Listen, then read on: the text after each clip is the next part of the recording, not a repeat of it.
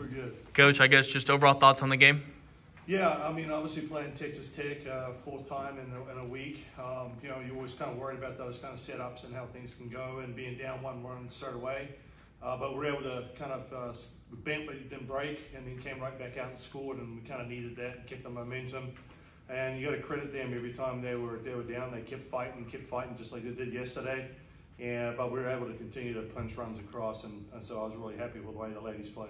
Mm. What do you have to say about Katie's performance in particular? Hey, she's getting hot at the right time, and she's been doing that right now because everyone knows what Reese can do. But you know, be her being behind her, it's hard to pitch around Reese and go it's Katie uh, when she gets hot like that.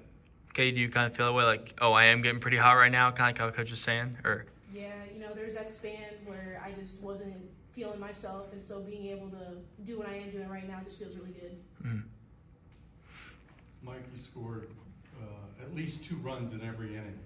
Um, so what does that do just for you guys, and and what does it do to the opponent when you keep that kind of pressure on them? Yeah, I mean that's we've always said we have a pretty deep uh, deep lineup. We've got a couple of people on the bench that could play for a lot of teams, and I think that shows that we can score throughout the lineup and do it in different ways, and uh, that's what makes us dangerous. Um, you know, I like that within my lineups, and uh, of course the players have got to produce as well.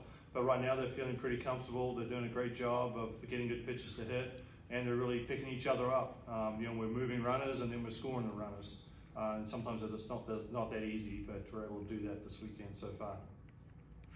For both you guys, how does it feel to get the first one out of the way? Obviously, with what happened with BYU and OSU earlier.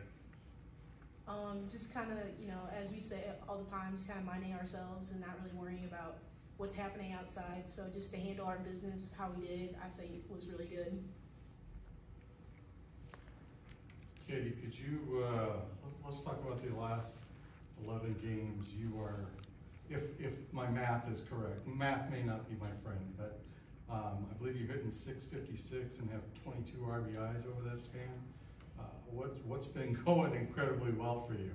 Um, just kind of working on my craft when we're practicing and whatnot, and just kind of you know, as he says, getting a good pitch to hit in the games, not really worrying about all the mechanics and getting in my head. So just kind of playing the game, how it goes, is really helping me a lot. And coach, what have you, what have you seen from Katie that you really liked?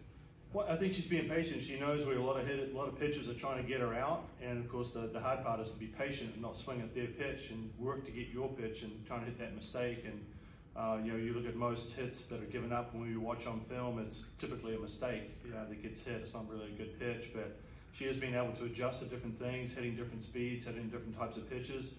And, and like she said, she's working on her craft and getting to be a better, smarter hitter at a young age. And that's important because this game is not easy and it can humble you in a heartbeat if you're not careful. What's the most impressive thing you, the two of you saw today? Um, just kind of seeing how Mac handled, you know, the strike zone because all the time it really, really wasn't working in her favor, and so just to keep going at the hitters how she was and to be able to get the results she was, I think was really good. I think uh, Vivi Martinez coming off that three-run home at the opposite field, I thought that was a key part of the game right there, and put it punched us back ahead.